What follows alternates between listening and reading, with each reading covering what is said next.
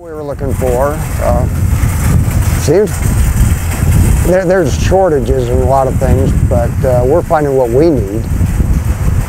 Yeah, we found everything that we were looking for, and we have for the last uh, couple of weeks. A pleasant experience. Everybody's helpful in observing the six-foot social gathering rules. Um, I found everything except for the TP.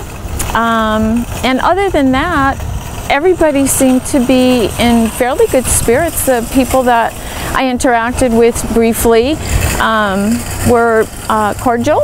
Um, they smiled, uh, kidded around sometimes. Um, but yeah, it was a fine experience. It wasn't crazy today like I thought it would be. Um, but uh, I'm looking forward to this whole virus thing being over with, and I'm sure everybody else is too.